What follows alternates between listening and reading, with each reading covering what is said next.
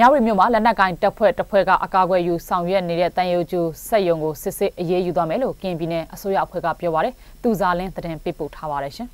။ကင်းပြည်နယ်မြောက်ရီမြို့မှတ်လေးရက်ကွက်ပိုက်ကျောင်းလုံးကြီးကျောင်းနောက်ဖက်မှာရှိတဲ့တန်နယ်ပစ္စည်းအကြီးကျိုးစက်ယုံကထွက်လာတဲ့အနက်ဆိုးတွေကြောင့်အနီးပတ်ဝန်းကျင်ဒေသမှာနေထိုင်တဲ့ဒေသခံပြည်သူလူထုတွေကျန်းမာရေးထိခိုက်မှုရှိနေတယ်လို့ဆိုပါတယ်။ ဒါကြောင့်ဒေသခံရောက်190ကလက်မှတ်ရေးထိုးပြီးကင်းပြည်နယ်ဆိုးရဖွဲ့ကိုတိုင်ကြားစာပို့ခဲ့တာကြောင့်အရေးယူဆောင်ရွက်သွားမှာဖြစ်တယ်လို့ကင်းပြည်နယ်ဆိုးရဖွဲ့လျှက်စစ်နဲ့စက်မှုဝင်ကြီးကပြောဆိုခဲ့တာပါ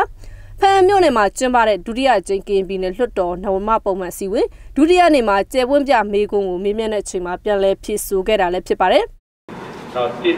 မြေတော်2000တစ်မြေတော်90ပုဒ်ရိယစက်မှုလုပ်ငန်းဥပဒေနဲ့ကျုံးဝင်ပြီးပတ်ဝန်းကျင်ညဉ့်ညမ်းမှုရှိအောင်ဆောင်ရွက်ထားမည်ဆိုပါက ပတ်ဝန်းကျင်ထိန်းသိမ်းရေးဦးစီးဌာန၏သဘောထားမှတ်ချက်မြို့နယ်စီမံသားရေး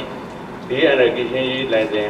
မိသားဦးစီးဌာန၏ထောက်ခံချက်သက်ဆိုင်ရာရပ်ကွက်ကြီးရွာအုပ်ချုပ်ရေးမှုများ၏ထောက်ခံချက်များနဲ့အတူလျှောက်ထားတင်ပြရမည်ဖြစ်ပါတယ်။ဒါကြောင့်လို့၎င်းလုပ်ငန်းကို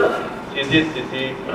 ရေးယူဆောင်ရွက်သွားမည်ဖြစ်ပါကြောင်းရှင်းချအပ်ပါတယ်။ မြောက်ရီမြို့အမဲဆန္ဒမှတ်နှစ်ပြည်နယ်လွှတ်တော်ကိုယ်စားလှယ်ဦးတန့်စင်အောင်ကပြည်သူတွေရဲ့ကျန်းမာရေးနဲ့တဘာဝပတ်ဝန်းကျင်ကိုထိခိုက်မှုရှိတဲ့ဓာတ်သတ္တုပစ္စည်းအရေးကြိုးလုပ်ငန်းတွေဆောင်ရွက်နေတာကိုအမြန်ဆုံးပိတ်သိမ်းအရေးယူဆောင်ရွက်ပေးသွားဖို့အစီအစဉ်ရှိမရှိကို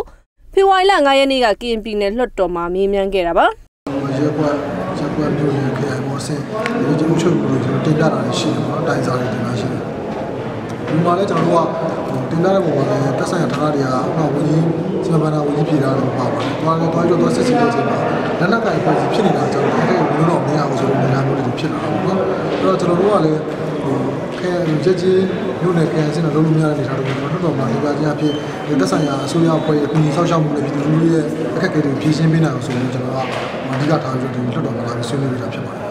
လက်ရှိမှာတော့အဲ့ဒီစက်ယုံကပုတ်လိကစက်ယုံလုပ်ငန်းလှုပ်ဆောင်မှုလိုင်စင်လာရောက်လျှောက်ထားတာမျိုးမရှိသေးဘူးလို့ဆိုပါတယ်။ မြောက်ရီမြို့နယ်မှာတော့လက်နက်ကင်တပ်ဖွဲ့တွေလုတ်ကင်နေတဲ့ကြောင်မီသွေးသုံးတန်ရီကျိုစက်ယုံနဲ့ခနောက်စိမ့်တက်နေစက်ယုံတွေလည်းရှိတယ်လို့ဒေသခံတွေကပြောပါတယ်။ကျမသူစာလဲမှာ